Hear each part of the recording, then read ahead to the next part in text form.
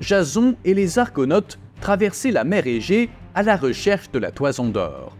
Le navire Argo était un excellent vaisseau et bravait la haute mer avec une habileté sans précédent. Les marins héroïques ramaient avec une grande vigueur, car il n'y a jamais eu d'équipage plus glorieux que celui-ci, ni avant ni depuis.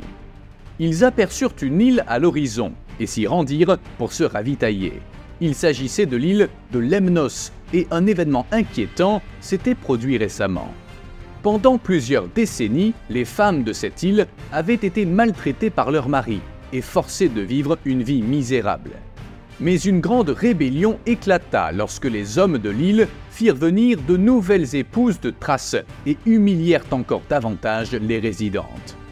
Elles attaquèrent tous les hommes de Lemnos. Beaucoup furent tués et d'autres fuirent l'île pour se sauver. L'île de Lemnos était gouvernée uniquement par des femmes et la présence des hommes y était interdite. Les anciens seigneurs de l'île tentèrent à plusieurs reprises de reprendre le pouvoir, mais furent repoussés par les femmes guerrières. Lorsque les Argonautes débarquèrent sur Lemnos, ils furent accueillis par une armée de femmes guerrières qui leur pointèrent des flèches menaçantes. Les héros avaient des intentions pacifiques et s'efforçaient de ne pas paraître menaçants. Jason choisit Échion comme émissaire des Argonautes auprès de la reine de Lemnos. Échion était le fils du dieu Hermès et possédait le don de la parole et de la persuasion. Devant Hypsipyle, Échion usa de tout son charisme et de toute son éloquence pour convaincre la reine qu'ils avaient de bonnes intentions et qu'ils souhaitaient seulement se réapprovisionner en eau et en nourriture. Après avoir rencontré ces hommes d'une immense valeur, les femmes de l'île décidèrent qu'elles ne pouvaient plus continuer à vivre ainsi.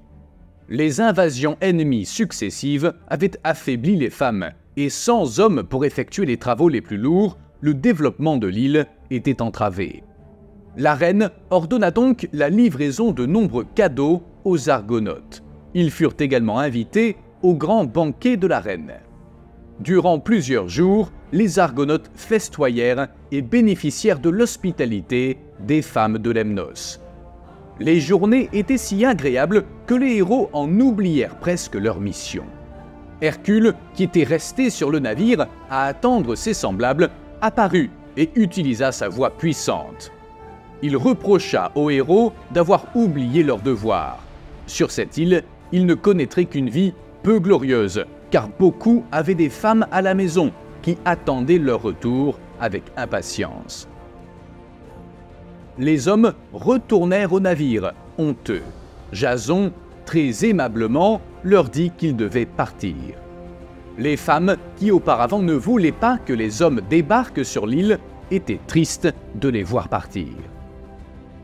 Les femmes de Lemnos virent les Argonautes partir sans se retourner.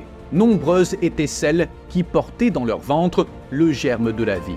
Les fils des héros donneraient plus tard naissance à une nouvelle génération d'hommes sur cette île. Les Argonautes atteignirent le détroit de l'Hellespont, l'actuelle Turquie. Les eaux étaient patrouillées par la marine troyenne sous les ordres du roi Laomédon, qui interdisait aux étrangers d'y pénétrer sans autorisation. Les héros décidèrent donc de traverser ces eaux de nuit pour éviter les navires ennemis. Avec l'aide du héros Lyncée, qui avait les yeux d'un lynx et pouvait voir sur de longues distances, même la nuit, les héros naviguèrent sur ces mers dangereuses jusqu'à leur destination.